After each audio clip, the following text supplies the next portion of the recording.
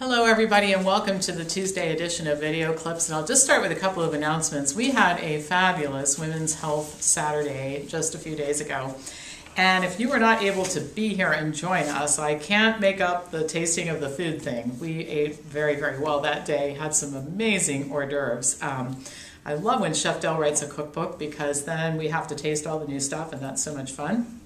But if you want to see the educational parts of it, we have taped it and it's available online. So just call the office and they will tell you how to do this. And it's the next best thing to being here if you weren't able to come to Columbus for our Saturday event. The second thing is we're just a month away from the start of the Diet and Lifestyle Intervention course summer session, which features the celebrity instructors like Dr. Ralph Moss, Dr. Caldwell Esselstyn, Dr. Neal Barnard, Dr. Schultz, Dr. Goldhamer. I mean, the list of, of famous speakers, authors, and, and people who are great advocates for better health care and plant-based diets and using diet and lifestyle as an intervention. The celebrity lineup happens in the summer. So if you're planning to take that course or you want to talk about the Women's Health Symposium or any of the other cool things we do here, just send me an email at pampopper at msn.com.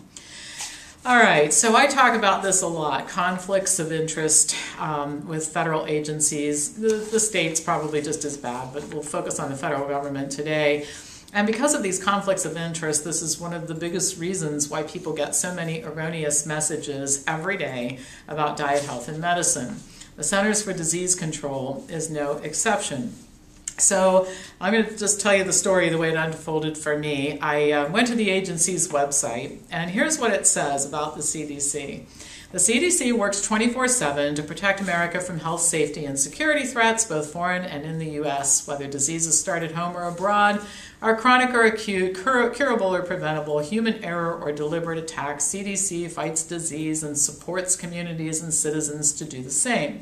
CDC increases the health security of our nation. As the nation's health protection agency, CDC saves lives and protects people from health threats. To accomplish our mission, CDC conducts critical science and provides health information that protects our nation against expensive and dangerous health threats and responds when these arise. The CDC claims that the agency, its employees, its associates, have no conflicts of interest. And I think for a long time I wanted to believe that was the case. I was disillusioned about the FDA a long, long time ago, but I sort of still thought the CDC was independent, but it really is not. A recent article in the British Medical Journal reported that the CDC receives millions of dollars in donations and gifts each year.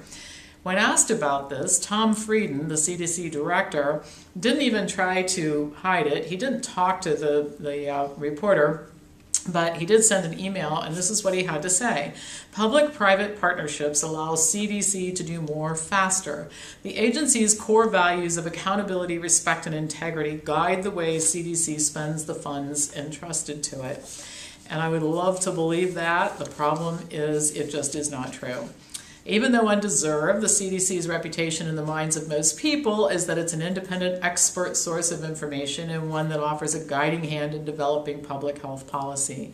While most doctors and lay people don't know about the CDC's cozy relationship with drug companies and industry and conflicts with its advisory committee members, I'll come back to that in a second, even those who work at the CDC or former employees are shocked to find out that this is the case. Former employee Philip Lutter, infectious disease specialist at Mass General in Boston, says he was saddened, that was the term he used, to learn about the situation. I think a more appropriate response would be furious, actually.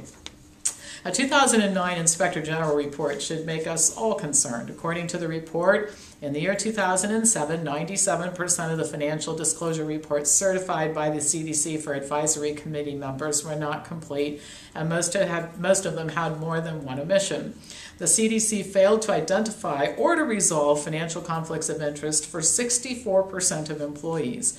Many did not complete ethics trainings, did not comply with ethics requirements during committee meetings, and some even chose to vote when they clearly had conflicts of interest that should have kept them from voting.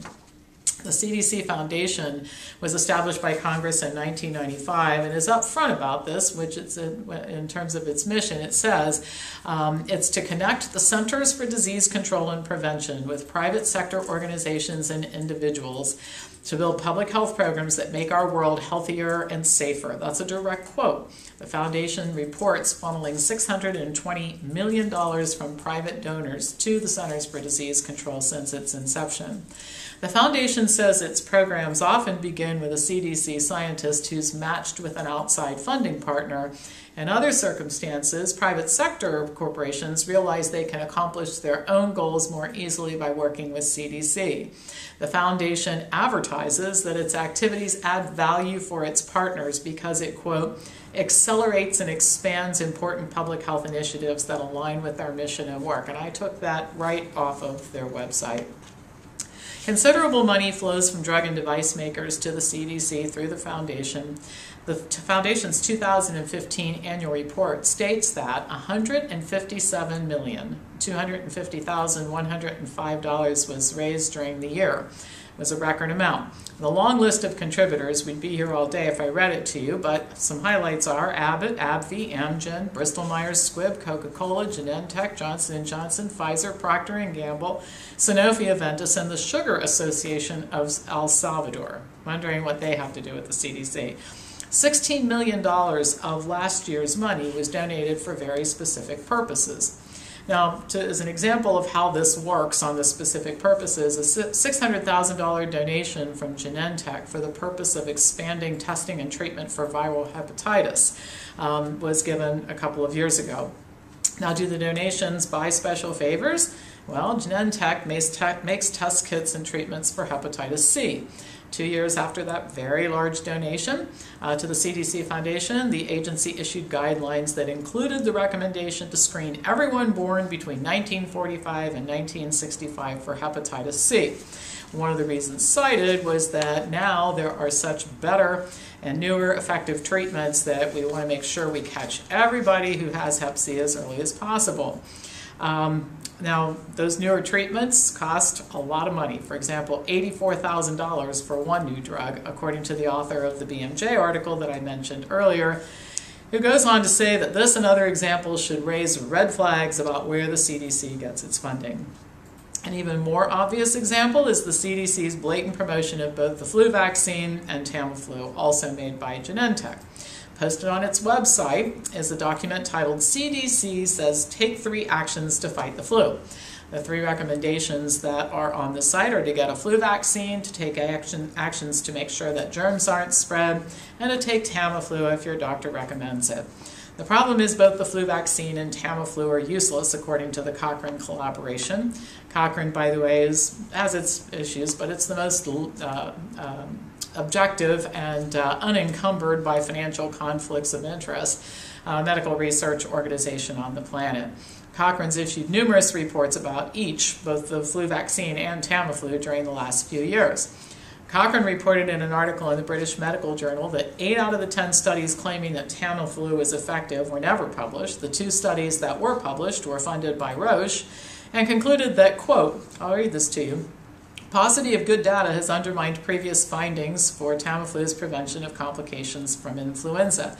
Independent randomized trials to resolve these uncertainties are needed. End of quote. Additionally, the Cochrane researchers report that while Tamiflu has limited value, if any, it does cause nausea, vomiting, headaches, renal disease, and psychiatric symptoms. It's hard to reconcile Cochrane's views and what its research shows with information from the CDC's, uh, the enthusiasm the CDC have, seems to have for both flu shots and Tamiflu. Back to our friend Tom Frieden, who thinks that these public-private partnerships are great. He says that Tamiflu can, quote, I took this right off the website, keep you out of the hospital and might even save your life. Well, that's a whole different story than what the Cochrane research shows.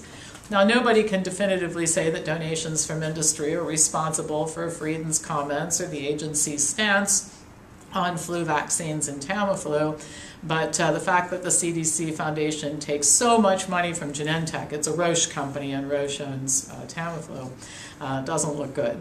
As if this isn't enough, the revolving door between the Centers for Disease Control and the private sector also con- uh, contributes to conflicts. Dr. Julie Gerberding was at one time the director of the CDC, which aggressively promotes vaccines. Today, she's president of Merck's vaccine division. Merck makes 14 out of the 17 vaccines recommended for children and 9 out of the 10 vaccines recommended for adults by the CDC. And that's just one example. There are dozens of others. The bottom line is that the CDC has just become one more government agency completely corrupted and beholden to industry. I think the, the United States does need an impartial agency with no industry ties to evaluate medical research and to make health recommendations to the public.